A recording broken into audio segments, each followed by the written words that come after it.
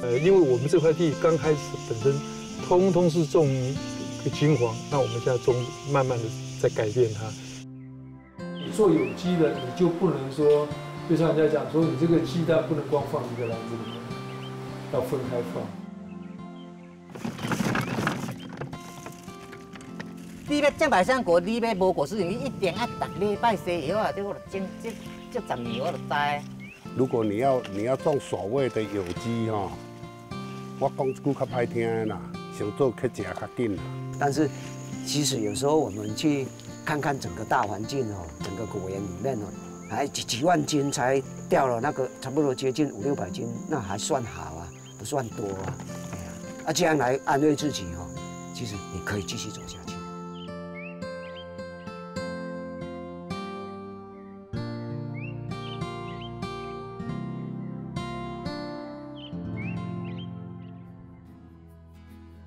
各位观众，大家好，欢迎收看本周的《农夫与他的田》节目。无毒农业是政府的农业政策之一，有别于有机农法，无毒农业讲求农药零检出，希望在数量和品质上都能有稳定的供应。南投埔里镇合成里和义兴里的交界处，人称大平顶，意思是一大片平坦的高地，虽然没有丰沛的水源灌溉。但是因地形有些微坡度，又不易积水，反而适合百香果、丝瓜等作物生长。目前全台湾有九成的百香果都来自于大平顶。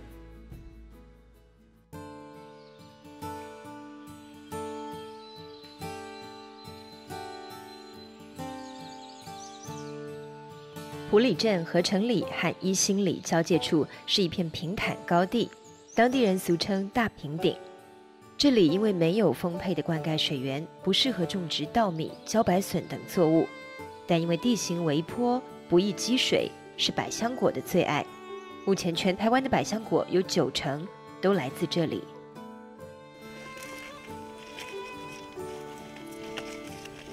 他是今年五十六岁的蔡建大，在大平顶种植百香果已经超过二十年。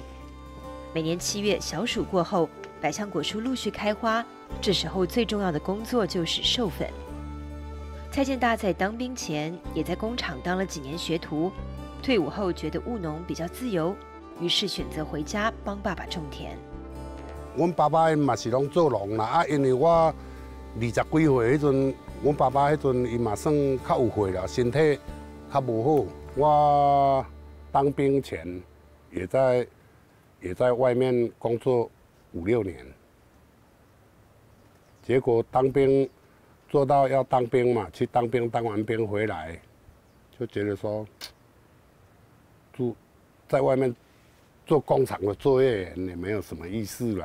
哎呀，想说回来自己有农地嘛，回来帮帮爸爸做啊，然后一方面我觉得说。做这个自己的田地，这样我觉得比较自由了，比较没有压力。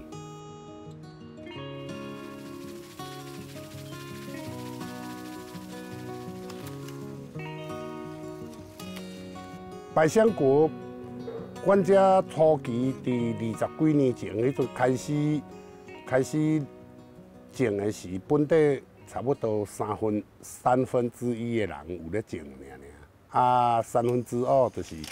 菜瓜啦、苦瓜啦，吼啊！迄阵个菜头，咱遮当初时面积是嘛是全省上济啦。啊，菜头菜头嘛是有连做的问题啦。啊，所以有诶想讲啊，无来来种一个百香果，加加轮做一下。啊，当初时迄阵百香果的介绍嘛无讲明显的较好啦，就是为着讲要轮作安尼。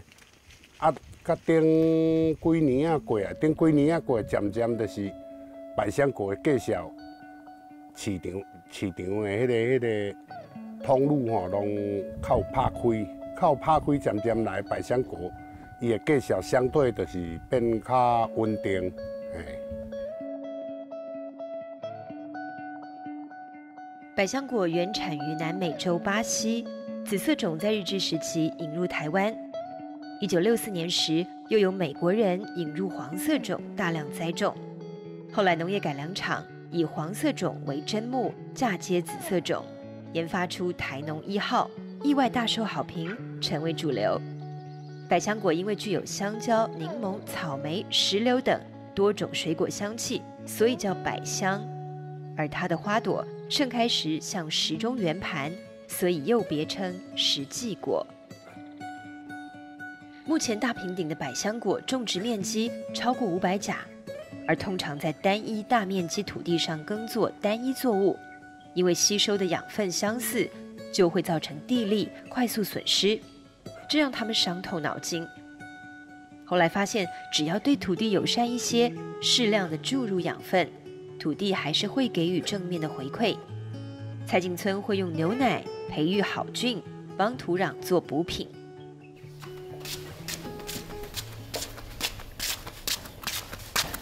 好，问过来。好。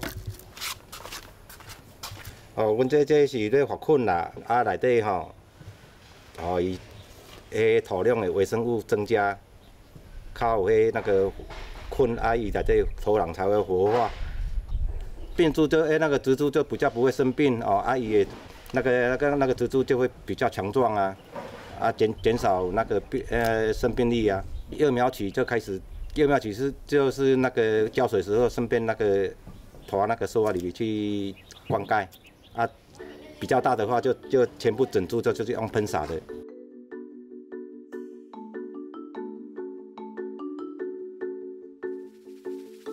为了不让地力流失，除了帮土壤补充养分外，大平顶果农还约定禁用除草剂，只能用人工除草，以草生栽培的方式种百香果，形成除了一年一种之外另一个不成文的规定。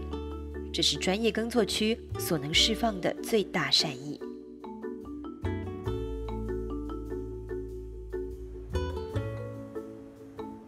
我们这边。这边属于专业区，专业区就没办法像外面所说的什么什么有机无毒，根本是天方夜谭了，不可能。除非你要在比较偏僻的地方哦，旁隔壁都都没有种，那个地方可能它的环境看会不会比较干净。我们这边如果你要你要种所谓的有机哈，我讲一句较歹听啦，想做去食较紧啦。我当初时，我就是原来捌试过，我捌，但是我唔敢唔敢大面积试，我就是有一部分一部分拢无甲西药啊。就是迄阵阮查囝，迄阵伊拄毕业，迄阵伊嘛拢甲我讲，伊对这农药伊嘛很敏感的，伊拢甲我讲叫我叫我不要喷农药，我不要喷农药就根本就没办法种。啊，他就一直跟我说，我说好，不然我就留一个。小部分的区域，哦，这些我都不要喷药，其他的我要喷。结果呢，到那一年还没有还没有到年底，整个百香果都一方面得毒素病，一方面全部被那个那个那个潜磷危害很严重，哎，都那个那个都没办法收成啊，市面上都。没有经济价值啊，到最后只有一条路啊，工厂做加工。果汁。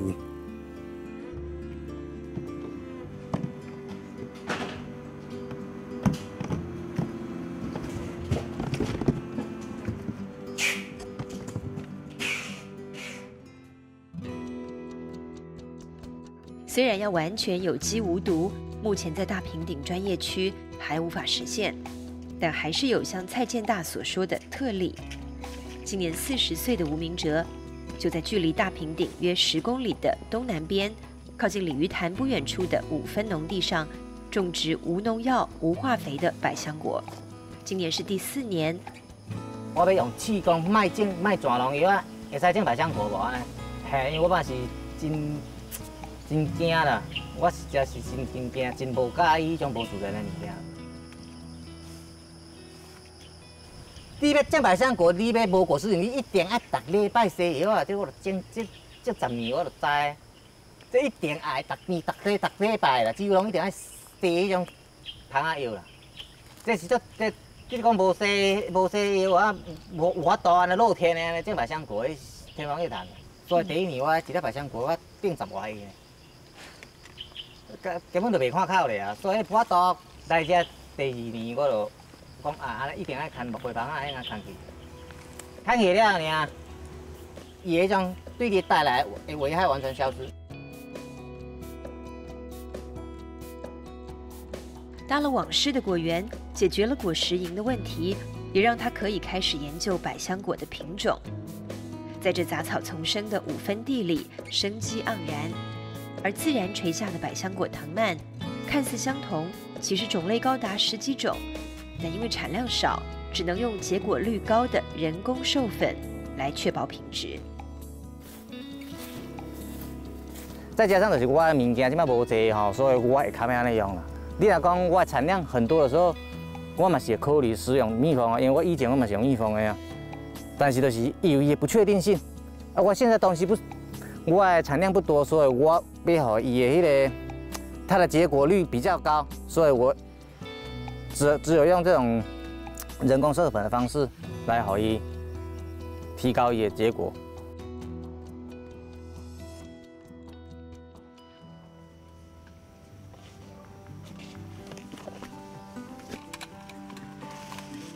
百香果的采收跟其他瓜果大不相同，因为它不是用摘的，而是在地上捡拾，瓜熟蒂落的百香果才有熟成的风味。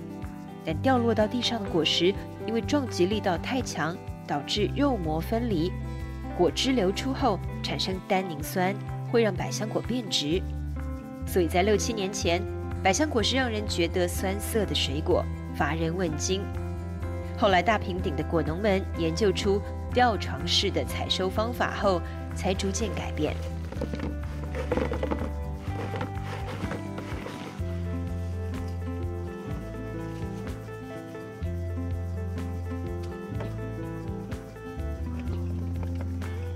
早起较晚啦，差不多五点半，五点半来。系啊，这两工啊，这两工啊，百香果，百香果都。较济啦，那雨那落较济会影响啊。昨是两滴安尼尔，还好啦，袂要紧。嘿，雨落大都，因为阮这拢吊网伫个，雨落大，阮都阮都无砍。啊，等甲伊差不多要打水。吼，百香果本身你落雨落伊会淡，啊，阮若等伊较打水，阮卡起来，后摆后摆寄甲人摕手会较袂。较袂讲伤淡，水汽伤重会影响品质。这个就是网子里面的剥出剥起来，就是不一样。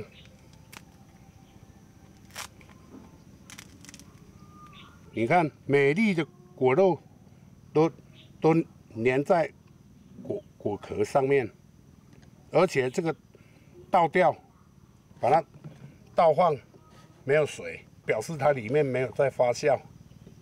今日这这品质袂歹，嘿，最好过去无无架网，无架网，互伊地里涂骹落雨落，遐个百香果全部就是拢拢无效期，遐拢爱交去迄个果汁加工厂做果酱。啊，即摆毋免，阮即摆有架这个网子哦，伊没有在地上，它不会水伤。睡吊床可以让百香果甜又香。但对友山种植的无名者来说，却是不小的资财开销，所以他只能用预产期的方式帮百香果亲自接生。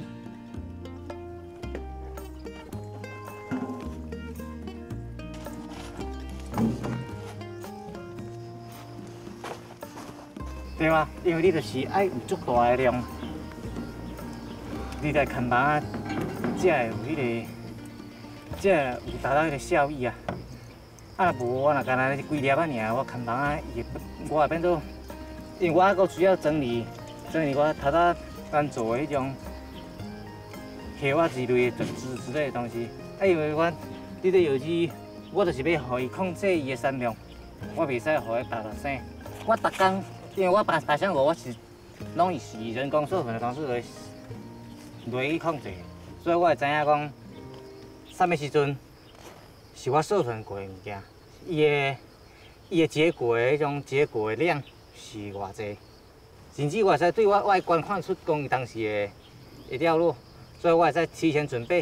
啊，而且因为我就是有，我就是因为我有控制伊产量，所以伊会较红，是安尼个啊。啊，所以我就是只好用我家己的方式，我用调来夹调。我只要伊我都伫我的范围，我我都，我都控制范围内，家采收，互伊落伫我的手的。我也觉得说他可能，他可能哈、这几天我无法度互伊落伫我的手的，但是伊可能会伫我无看到伊的时阵落来，我都会甲夹起来。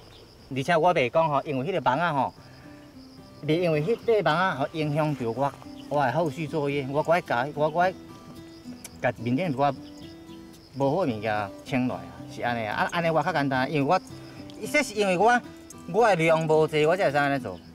你若讲今日我愈做，我越越做越有，我愈做吼，我愈有心得。我有法度管管顾，像我足济，我嘛是会看网仔呢。因为我咧把我一一工一工上济是几百粒咧收尔，啊，但是咱咱咱嘛是种即种物件，咱都爱去控制。这个是有机要搁种，要搁种啥哈？要搁种太阳以后的啥哈？会一个真真大的啥哈？真大的挑战啦。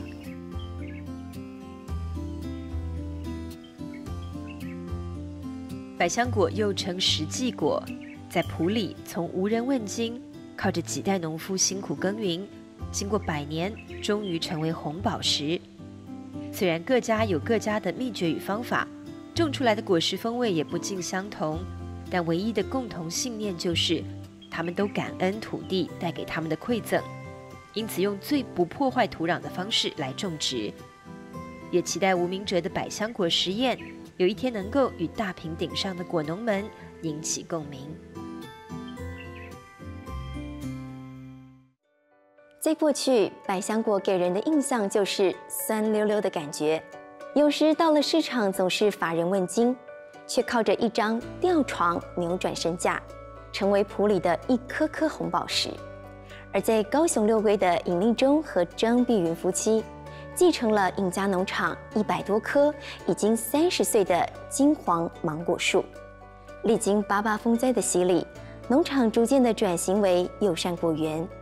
当春天来临，泽兰花开，也是紫斑蝶迁徙的时刻。六龟是紫斑蝶北返的第一个休息站，满满蜜源的果园，随时都可来场与彩蝶共舞的田园舞会。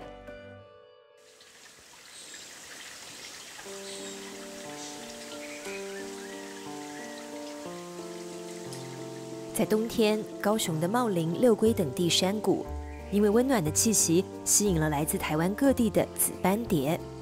紫斑蝶挂在树上休息，汇聚成串，数十万只的蝴蝶齐聚在山谷中，成了数一数二的世界奇观，人们称为“紫蝶幽谷”。当闪耀着紫色光芒的蝴蝶漫天飞舞时，这个奇幻的景象成为当地人难以遗忘的世代记忆。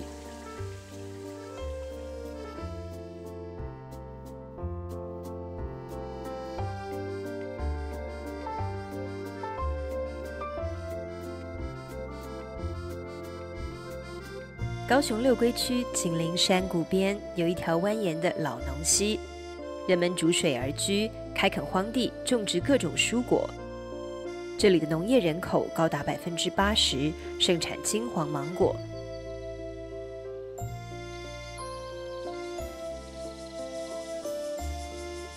当然，人不会是唯一的生物。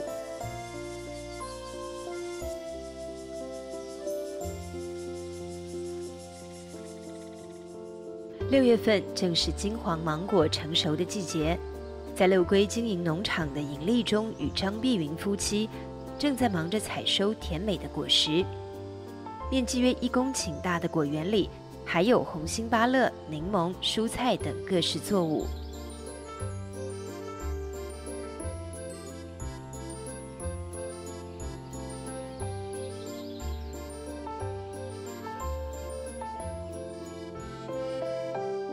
很喜欢吃芒果，呃，我觉得芒果比莲雾好吃，因为我觉得芒果有酸酸甜甜的，比较有滋味啊，所以我喜欢吃芒果。直接下去啊？对啊，直接下去啊，哦，就会有快感哎，小心手，小心手指头。其实，现今人们可以安心满足地享用这剩下的果实，跟紫斑蝶也有关系。几个月前，当春天来临，芒果泽兰花开之际，这时也是紫斑蝶从幽谷中苏醒，准备北返的时刻。六龟是紫斑蝶北返的第一个休息站。芒果园里盛开的花朵是它们补充能量的最佳蜜源。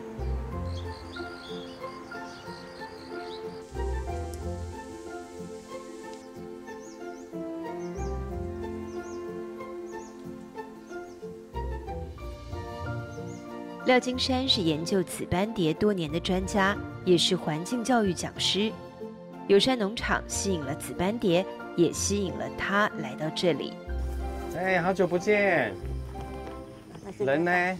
怎么都看到蝴蝶，没有看到人？来了，人来了。哎，你的泽兰种的好漂亮哦，蝴蝶都来了哈。对。好久没有来了，结果你看蝴蝶跑光光，现在花开就来了。对呀，都跑到这边来了。类似哪一种蝴蝶吗？大部分蝴蝶会从茂林出来，然后经过你的农场上空。从你这边农场开始，一路到那边，哈，其实这个附近都很多芒果。那蝴蝶就会在住的地方，然后附近有蜜源，它就会一直出来访花。好，然后你们这边最棒就是说，你这边因为没有喷药，所以蝴蝶来你家吸完花蜜，哈，就走了。尹家农场的女主人张碧云是土生土长的六龟人。他是让紫蝶回来的推手之一。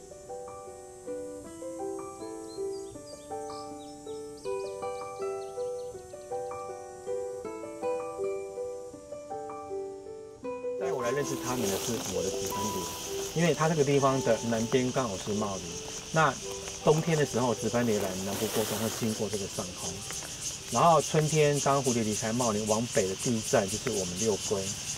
那这个地方就是等于说蝴蝶通过的捷道点，好，所以那有一天我在追蝴蝶通过，然后就来到这个地方，因为他们这边的芒果在开花。好，我们来看看，诶，应该有比较漂亮的。嗯。好，这一只，这只是你们这个附近啊最多的。哦。哎，小紫斑蝶。哦。来，你闻一下味道。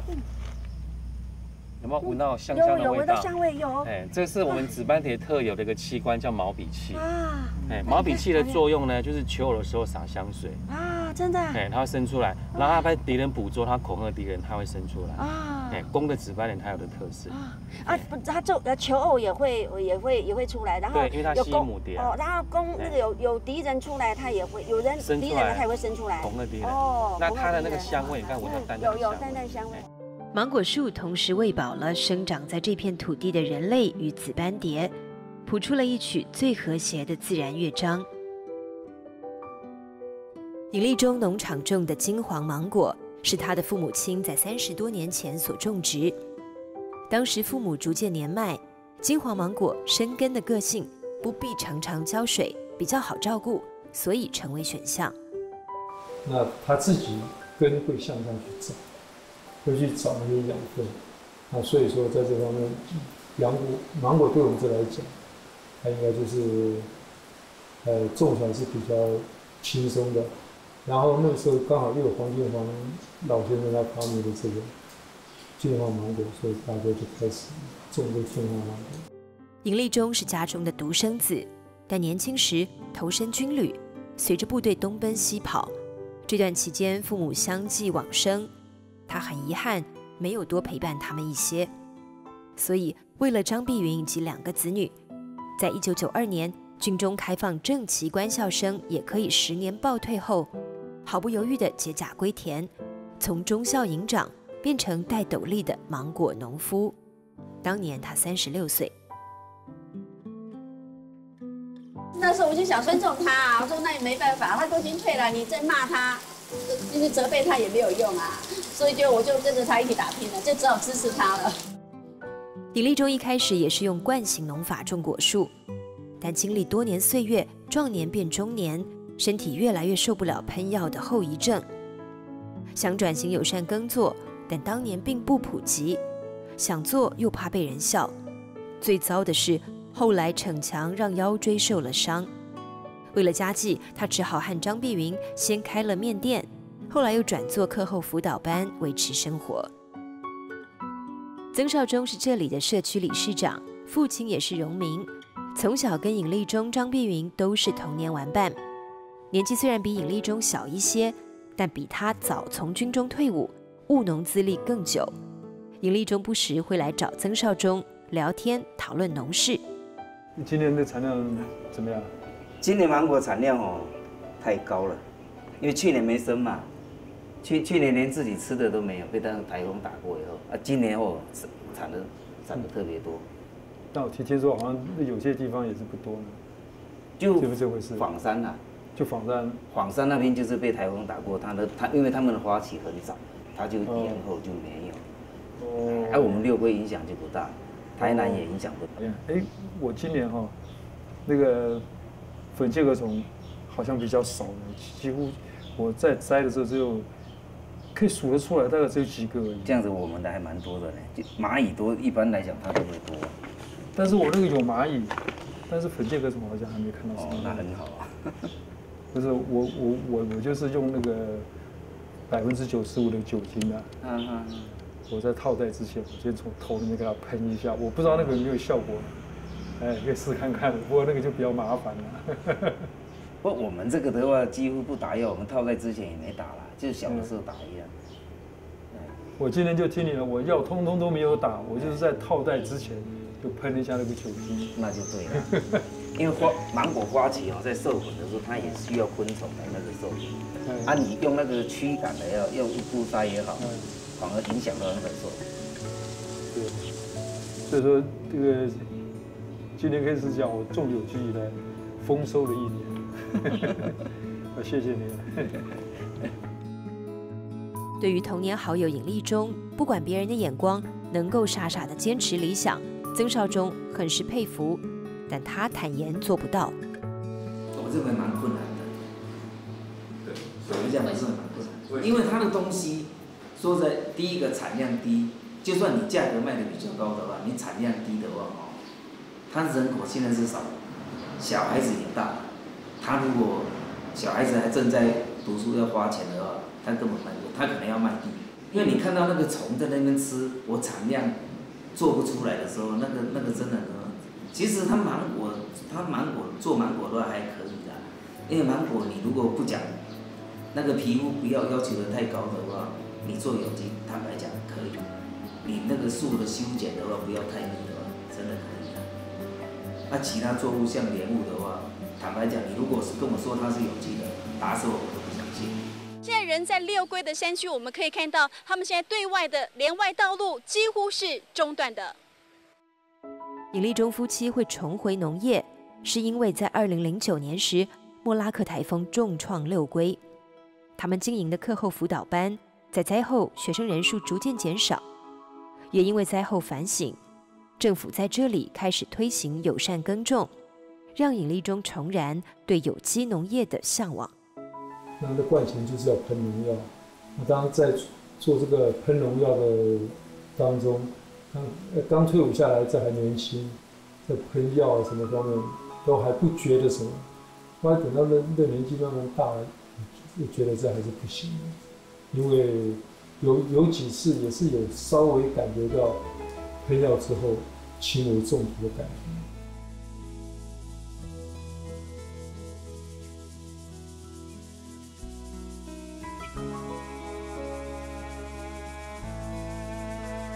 为了让农园一年四季都有收入，尹家农场以多样性作物营运，除了榴莲蜜、芭乐、柠檬、百香果。凤梨、香蕉等等水果都依时序等着收成。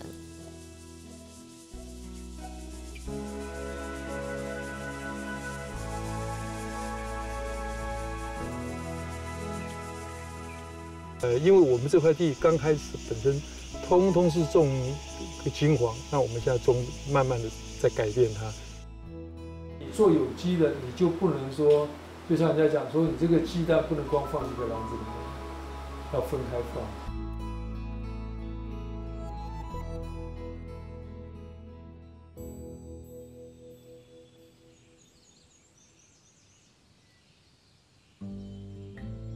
张碧云当年无心插柳带回来的泽兰，在六龟众多有心人士的推广下，开始在社区里落地生根。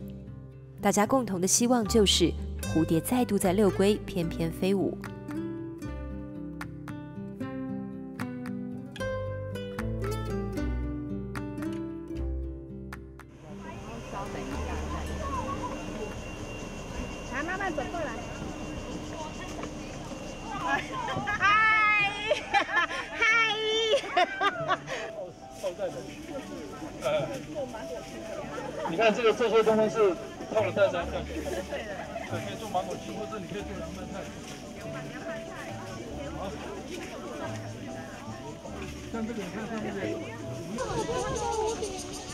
那那个左边有了蝴蝶的蜜源，你看要要多蝴蝶，啊，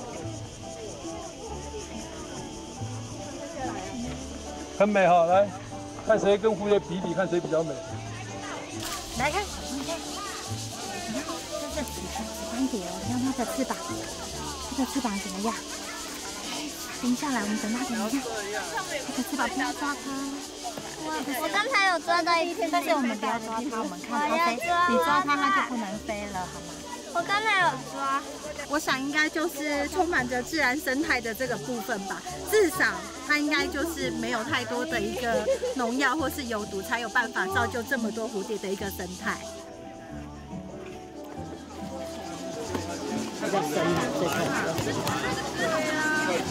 那我两颗。小一点比较快，嚯，越低越细越好，刀子下去，刀子下去。因为年纪渐长，未来农场的走向，尹立中、张碧云希望以提供农事体验的方式，让都市人利用休闲假日到田里耕作，体会种田的乐趣。最开心的事情呢，我呃，我虽然我虽然说，啊，种田很辛苦，可是我每天我都一定要去我田里面，即使下雨啦，或者是怎样，我都要去逛逛、走一走这样。不去的话，我就觉得好像是有什么事情没做。这植物它经过你的照顾，哦，它然后成长，然后最后结实累累，能够让大家来享用。享用之后，人家又对他这个赞不绝口，这我觉得就是一个当农夫一个很快乐的一件事情。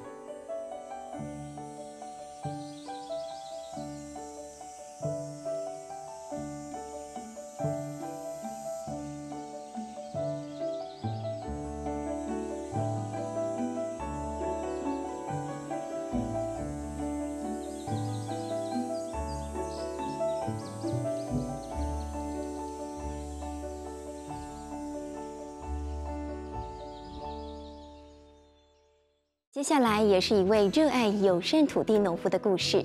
只要谈起耕种方式，眼神里总带着光芒的蔡增金，因为松软的土壤带来的踏实感，舍不得离开农业。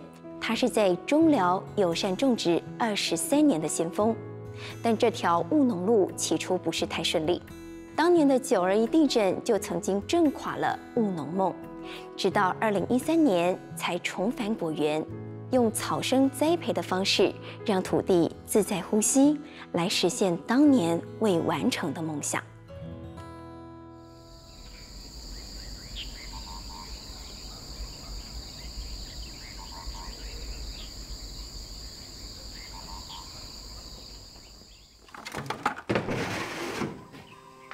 透早吼爱去采收吼，爱比较忙一点啦，都有人订了。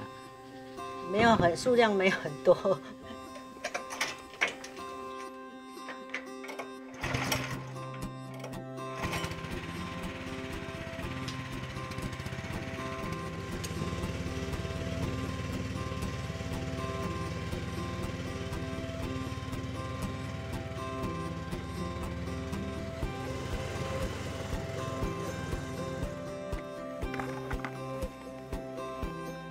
它叫美瞳柑，有时候哈，外面的人哦，它长得跟狐狸猛很像哦，人家都把它误称叫做美，哎，叫做狐狸猛。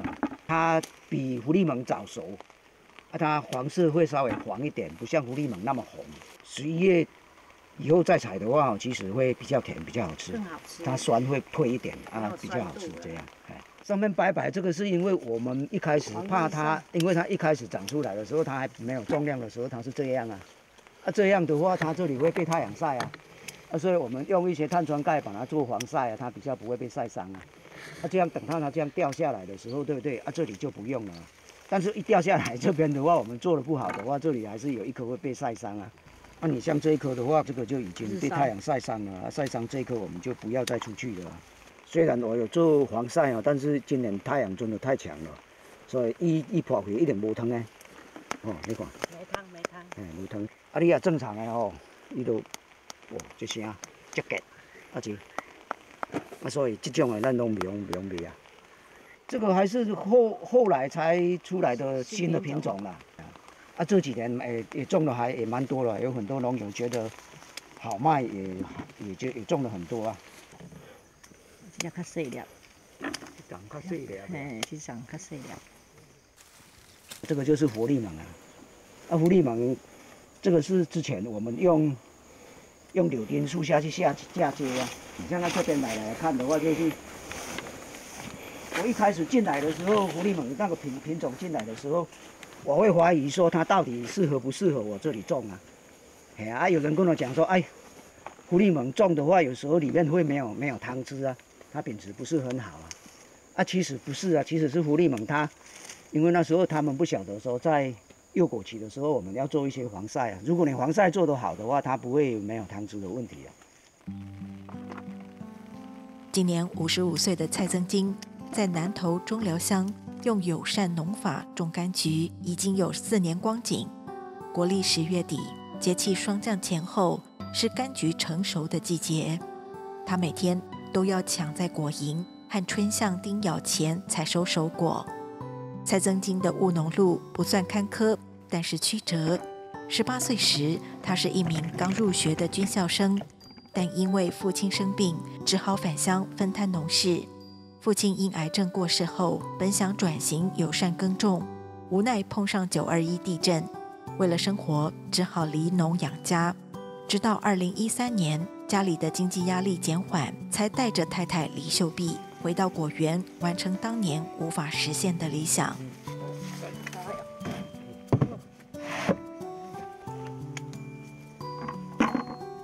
种有机的习惯了。比较健康啊！刚开始怕怕啊，来的时候看到虫啊，还有些动物啊，小动物啊，小山兔啊，也会怕啊。山上就是有有一些有生态啊，就是都有一些小动物。像我们在照顾这种所谓用有机或者说谓生态。就是所谓的无毒的管理方式，不使用农药的话，其实它的资材就是用一些微生物制剂跟跟一些油劣去处理它的病虫害的话，它大概都大同小异了，用的方法都差不多了。只是说在采收修剪这方面的话，有一些不同的话，你自己要去做调整的话，啊，整个大环境它的管理方式大概都一样，所以我会把不同的东西种在一起。啊啊！我这就是后要种的时候，我拢家己混种吼，带伊比伊家己互相去交配吼，咱的品质吼会变较好。凤柑、珍珠柑、佛利芒、哦美瞳。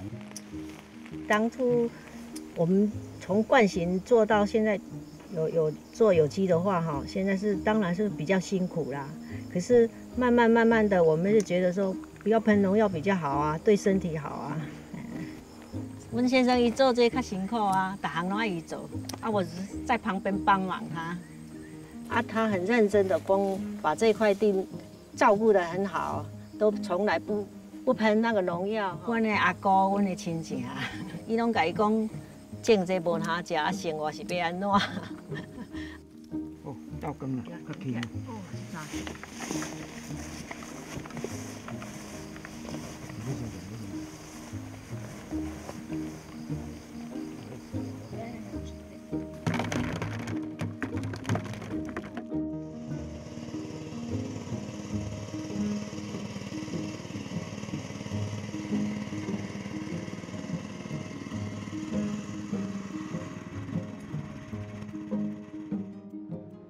候一开始回来，我是门外汉呐，因为那个军校回来去当三年的兵，大概当兵就当了四五年了，就要从头开始啊。那我回来的时候，其实就是说，爸爸这块地我要帮忙。那时候还是做惯型，哎，还没有接触到所谓的有机？这一块啊。啊，后来就是因为有一次去喷农药，啊，喷那个纳乃德啊，那时候不晓得说你皮肤接触太多的话也会中毒啊。啊，所以那一次中毒之后，我自己觉醒说，农药玩农药真的不好玩，的话命差一点就被他牵扯掉哈。我有时候我去别人的园子里面去走一下，他们喷的那个杀草剂，你走进去，他的土地是硬的。那我们这一边只要有稍微有点湿润的话，我的土地踏进去就像踏在海绵上一样，软软松松的。其实我们的东西种出去的话，有瑕疵、有虫吃、有坏掉、有不好的地方，你可以多多指教，我们尽量力求完美。因为蔡增金的坚持。他的果园成为很多小生物的栖地。南投中寮乡临近高山，有百分之九十八的土地是丘陵地形，适合旱作。五零年代到六零年代，曾大面积栽种过树薯，之后还缔造了香蕉外销的黄金时期。不同阶段的作物都为中辽农民带来丰盛的经济效益。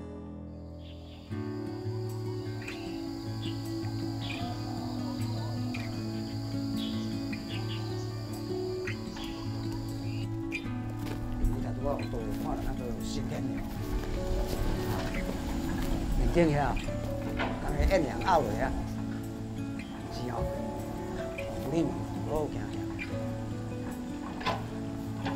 那你甲讲你打我来咧？这期啊，这期啊，这期已经已经去互到外加着了后，啊，伊遮这有着异病。啊，你甲看，你即马加这个落，哦，你甲看有无吼？来。这个所在吼，拢还佫有迄个疫病的病害，农民吼嘛有的也把它叫做老家病、流胶病，啊一定要加较贵，啊为了加较贵哦，啊才有一个生产点，咱就要规矩加较济啊，安尼好对。好啊，这样的话它整个都绿色，那个病害我们就除掉了。所以我们在在回分的管理上的话，吼，其实就是那个氮肥就不要太多。这个。有被果蝇危害掉下来的，然后把它剥开，那里面已经开始长虫了。这个就是果蝇幼虫啊，它一被咬之后就很容易落果。啊，有时候如果它离那产生离层酸，如果不是很严重的话，它也是挂着。它吃的比较肥、比较胖的时候，它就会掉到地上里面。就化蛹啊，化蛹就跟那个苍蝇一样的啊。其实果蝇它是营猎啊，营猎的话，它化蛹之后，它再出来的话，就继续在危害你园子里面啊。所以这个掉下来的果，你是最好是把它捡回去，然后把它泡在水里，或者是把它搅烂当堆肥这样。我加个 Q 的 Q 的，啊，这个是最主要还是先天牛咬比较上部的枝条所产生的啦。啊，一般我们如果在夏天的话，大概这个可能就做堆肥，要不然的话就拿去做那个清洁剂吧。哎呀，啊没有办法啊，那个虫害，有时候你没有抓到的话，它就是一种损失啊。啊，你你你要喷农药，啊我自己又不喜欢喷，因为我怕农药啊，所以我就不喷啊，啊不喷就是这样啊。这就是进前掠一摆过啊！啊，这空这个有糖造出来，无表示讲还有糖咱掠无着。哦，有机会，有机会，终于被我抓一只给你们看了。这只就是被我抓到了，啊，无拢是弄伫内底，感觉淡淡就放去啊。啊，这只拄啊好被我搞出来。你看它这个牙齿很利啊，有没有两个牙齿？啊，就在里面钻洞啊，啊，钻洞的话，它。它就会失去水分了嘛，好，啊，这个就是新天鸟幼虫，啊，你不抓它的话，这只枝干会整个枯掉，啊，现在抓出来，它修复力蛮强，它可能会慢慢就会恢复了。没看。没坏哦，你长无加，无加好。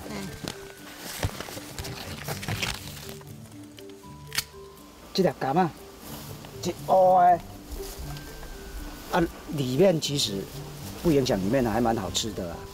这个把它剥开的话，其实它汁蛮多的啊。哎呀，那还是很好吃啊。哦，人家较甜呢，酸中带甜，生甘丁。甜甜。嗯，以前我们哦，老爸都种柳丁比较多，啊，碰柑比较少。啊，因为一公碰柑较歹种，哦，诶，今天牛比较喜欢养，啊，他就不想种。